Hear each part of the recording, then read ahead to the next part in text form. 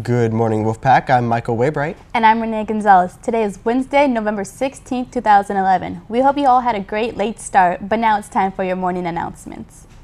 For all clubs participating in the food fair, remember you must have a poster made to put on your table that includes the name of your club, the item of food you are selling, as well as the price. Your poster must be made by 8 a.m. on Friday morning, and you can find poster paper and paint in the activity room. Additionally, all clubs are in charge of bringing your own utensils and supplies. All JV football players that haven't turned in all or part of their equipment must do so this week to Coach Gomes.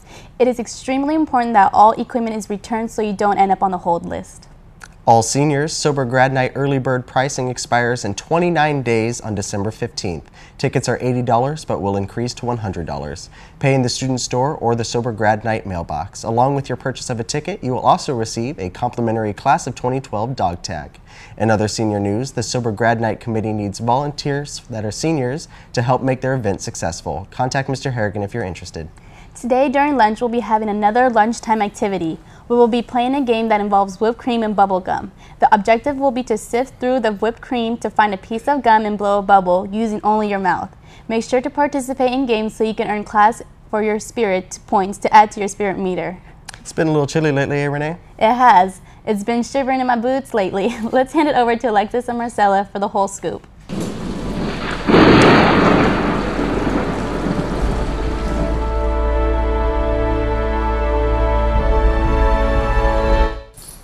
Good morning, Wolfpack. I'm Alexis Montgomery, and here's your weekend weather. According to USAToday.com, today will be partly cloudy and the average temperature is 54 degrees Fahrenheit, which is what we'd expect for the November average temperature, which is 53 degrees Fahrenheit.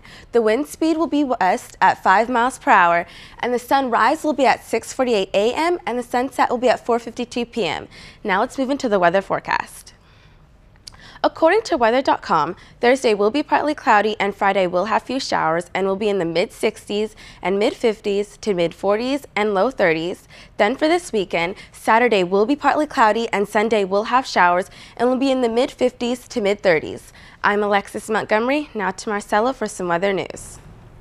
Hey Wolfpack, I'm Marcella Cabral and here's your weekly weather news. Can the weather affect your mood? Well, according to PsychCentral.com, high temperature weather can cause higher mood, better memory, and can broaden your thinking abilities. Seasonal affective disorders, or winter blues, is categorized by the feelings of sadness and depression that occurs in winter months or places with relatively low climates.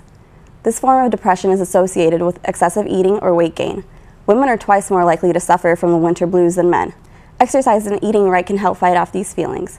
One hour of aerobic exercise is equivalent to two and a half hours of sunlight. Well, that's all for your weather news. I'm Marcella Cabral. Back to you, anchors.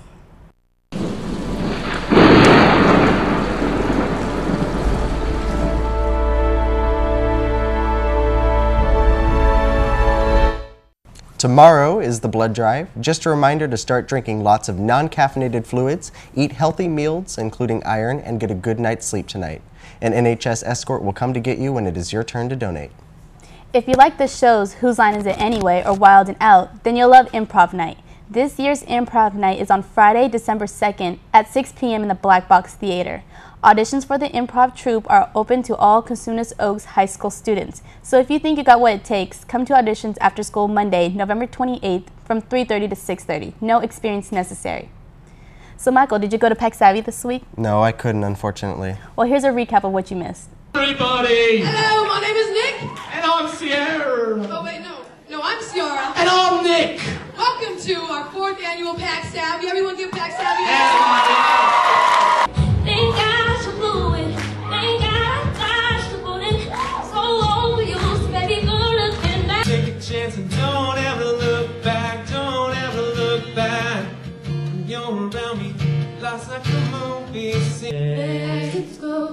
Cause of all the trouble I see. Let's go. Why a losing gamble to me. Let's go. Cause every uh,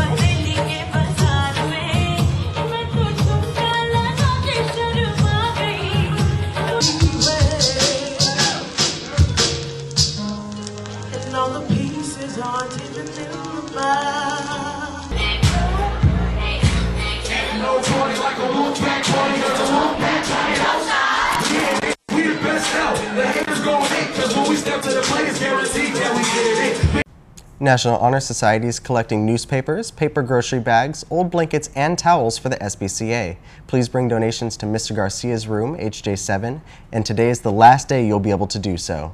Have you heard about Unity Day being canceled this month? You can still do your part to save Unity Day by purchasing a bracelet for $2.50 at the food fair. Speaking of the food fair, it will be held in the cafeteria this Friday, November 18th. There will be a large variety of food such as churros and corn dogs for a dollar, funnel cakes for $3, and roundtable pizza for $5, and much more. Remember to support WPTV by buying some popcorn for only a dollar. So don't miss out and remember your money on Friday for our first food fair of the year. There will be a dinner drive-through fundraiser tomorrow from 5:30 to 7:30. Don't forget to place your order for dinner. $25 feeds a family of 4, so come and support Sober Grad Night 2012. We will have a router bus for the football game on Friday night versus Whitney High School. The cost of the $12 per, the cost is $12 per person. The trip is limited to the first 54 students to purchase their tickets and return their field trip form, which is available from the activities room window or from the front page of the website. All of us here at WTV, WPTV would like to congratulate our culinary students for an awesome job last night at the Dinner Parkway service. Well, there's the Inside Scoop Wolf Pack. I'm Renee Gonzalez, And I'm Michael Waybright. Remember, the strength of the pack is the wolf. and the strength of the wolf is the pack. Swag.